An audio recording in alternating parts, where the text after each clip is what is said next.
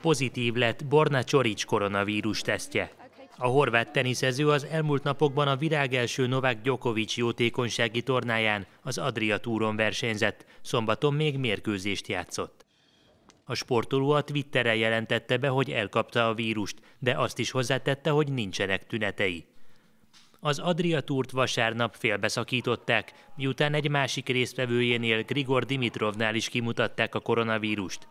Csorics éppen Dimitrov ellen játszotta utolsó mérkőzését.